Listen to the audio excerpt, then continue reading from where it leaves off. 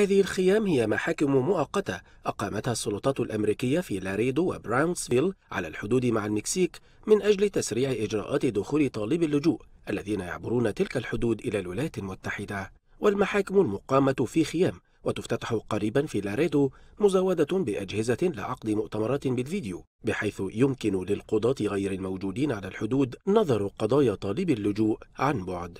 ولجأت السلطات الأمريكية لهذا الحل بعد ارتفاع أعداد المهاجرين على الحدود الجنوبية للولايات المتحدة في الوقت الذي يحتاج فيه عدد محدود من المحاكم على الحدود إلى ترتيبات لوجستية وقانونية معقدة.